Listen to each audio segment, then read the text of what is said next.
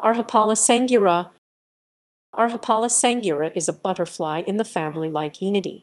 It was described by George Thomas Bethune Baker in 1897. It is found in the Indomalayan realm where it is endemic to the Sangihe Islands, Celebes.